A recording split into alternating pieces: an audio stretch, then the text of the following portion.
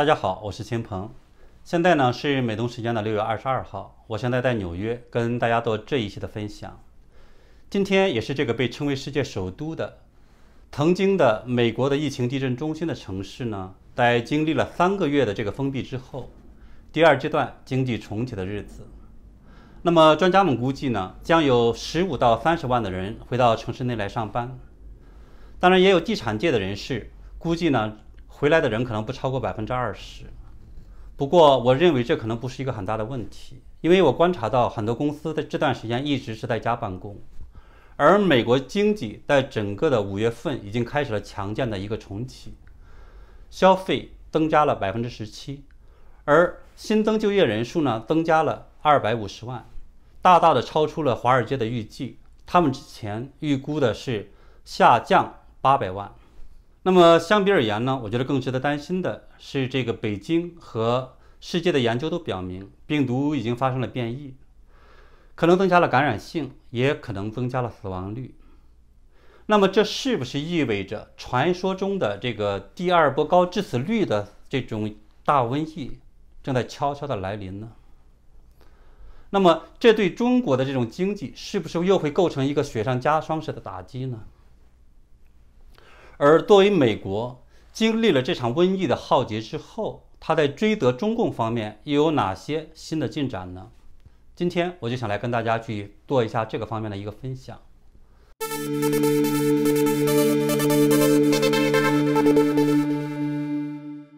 那么六月二十二号，我们看到大陆财经媒体财新网报道，他说呢是北京最新采集的病毒样本表示呢，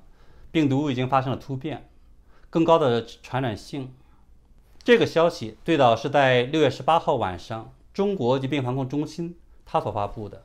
他们称在六月份，呃，北京新发地疫情之后，他们采集并测量了来自于患者和环境的样本，然后经过这种基因序列的对比数据，发现三组的序列呢发生了 D 六幺四 J 的这种突变，而这个突变。可能会倍增病毒的感染性，增加患者的病毒载量和增加这种死亡的风险。这个结果呢，与之前发布的国际的研究非常的相似。那么，CNN 当时表示，美国顶尖的斯利克普斯研究中心一项研究表明，中共病毒已经产生了 D 六幺四 J 的这样的一个突变，会使呢病毒入侵人体的钥匙突然间增加。而且形态更加稳定，导致呢病毒的传染力暴增十倍以上。美国病毒权方面的权威呢认为这是一个重大的发现。那么中国的 CDC 还表示，他们把这个基因测序结果呢上传到了国际的数据库当中。这实际上是很罕见的，因为我们知道一月份的时候，呃，湖北的卫健委和中共国家卫健委都先后下令是。销毁病毒样本，禁止擅自发布基因的测序结果。上海的张永镇团队呢，还是因为看到中共官方迟迟的不肯公布，后来是决定自行的发布。那么中共官方后来是被动的发布了一批，然后后来就没有后来了。而张永镇团队呢，也因为擅作主张的话，被中共是一度关闭了他的实验室。所以现在这实际上是一个非常奇怪的一个做法。那么。这个奇怪的做法本身的话，它表示什么呢？那么在我来看，这可能意味着中共呢是下定决心在甩锅欧洲。我们都知道呢，中共这段时间是在炒作这个三文鱼，而挪威呢是呃三文鱼的主要的这个出口国，也是呢是要求追责中共的主要的欧洲国家之一。所以呢，我的看法是，就是。真实的这个病毒的来源并不是来自于这个三文鱼，而更可能呢是来自于这个参加两会的这个代表们的他们的这种欧洲的这些留学生们的。因为这段时间我们知道呢，是中国和世界上是发生了这种呃断航，中国航空公司呢利用这个五个一政政策，它实质上是垄断了整个的这种国际航班。数量非常少，而且来往的人主要也就是这些这个留学生们。所以呢，我觉得大概率的事件，是实上病毒是他们传入的。但是呢，中共是为了把这个矛头对准了这个两会的代表，对准了中共官员，所以呢，就是要栽赃于我们看到的挪威等这些国家。当然，这是一方面的，另一方面的问题可能在于呢，就是，呃，研究人员们发现，就是 D 六幺四 G 这个毒株呢，是占所有新冠病毒的这种比例，从年初的百分之零，到三月份占据百分之二十六，到四月份占据百分之六十五，到五月份突增到了百分之七十。也而这种病毒的这种传染率，事实上都在不断的增加。那么这种感染性更强。死亡率更高的，是不是意味着说传说中的这个第二波疫情要来了呢？因为我们知道呢，这段时间网上有很多相关的消息在发布，有说这种印度的天台男孩也好，还有一些预言的这个人讲说，到了秋天的时候会再起疫情，而且更加的严重和凶险，死亡的人数将更高。那么，一九一八年的这个西班牙大流感，也是曾经发生过类似这种现象。春天来的时候呢，它这个死亡率是比较低的。到了一九一八年秋天的时候，它的死亡率是在骤然的上升。到了一九一九年的这个冬天和第二年的这个春天的时候呢，它死亡率又下降下来了。这一次是不是又一次这种重演呢？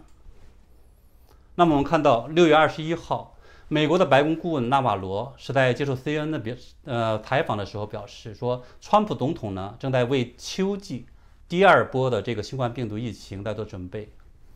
他说：“我们正在积极填补库存，以防秋天可能出现问题。我们正在竭尽所能，竭尽全力。”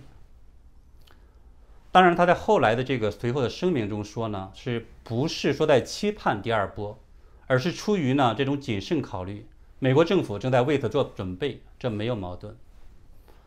而五月二十一号，这是。川普总统在呃访问密西根州的这个福特工厂的时候，被问及第二波疫情的时候，他对此说：“人们说呢，这种可能性非常大，这是标准情况。”川普还说呢：“如果说是遭遇第二波疫情呃这种袭击的时候，我们不会关闭国家，我们要去扑灭火焰，我们不会去关闭这个国家。”同样说，呃，不会停工停产的也有这个北京政府。六月十六号，北京市委副秘书长陈贝说：“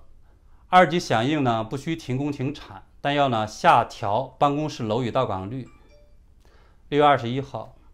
北京市官方宣布是百事北京分厂出现八例确诊，已经停工停产。该厂呢主要生产这个乐事薯片。在北京爆发的这个新一波的疫情，就是引起了人们更大的一个担忧。就说这个的话，这次大流行会不会进一步的破坏中国的经济？因为我们看到，截止到六月二十一号二十四点，那么北京官方的通报是到六月十一号到现在，不过呢是新增了本地确诊病例二百三十六例。不过好像没有几个人相信，因为作为中国也是全世界这种医疗丰最丰富的城市，北京呢。最近几天，竟然有来自于武汉、江苏等地的医护人员在援助。六月二十一号，我们看到是《金融时报》报道说呢，是这一波的这种事态的发展，再一次呢提醒人们，对于第二大经济体来讲的话，经济复苏的这样的一个正常的路，实际上是非常坎坷的。新加坡商业银行的经济学家周浩，他也表示呢，是说与几个周前相比的话呢，经济复苏的这样的一个路更加崎岖，事情呢也将会更加的复杂。我们看到呢，五月份的时候，中国的这个汽车销售、还有工业生产、还有是服务的支出都是在增长，但是呢，现在的这波的出现，即使说是呃没有武汉式的停工，那么当地的经济恐怕也会遭受这种苦难。而最近几天，我们也看到呢，是，呃，到北京的火车是骤然的下降，就说疫情对人们的这种心理预期、对经济活动的打击可见一斑，而且呢，对未来的我们看到的主要的服务业、餐饮、电影院或者交通工具，实际上也会大幅的减少。前几天我做过一期节目，谈到呢，中共是四路出击，逃避国际追责，而白宫呢，在部署全面的这种打击，在经济、军事。外交、科技、金融等领域呢是狙击中共，而且还派了两员猛将这个蓬佩奥和纳瓦罗针对中共病毒的来源和中共的这种掩盖，在进行这种穷追不舍。这几天我们的事事件的发展的话呢，我再次见证了我的分析，就是我们看到蓬佩奥在夏威夷与中共政治局委员杨洁篪见面之后，在哥本哈根的这个民主会议上带出惊人之语，要欧洲选边站，并说呢这是中国共产党逼迫大家选边站，而且呢这不是在美国和中国之间选边，而是在自由和暴政之间选择。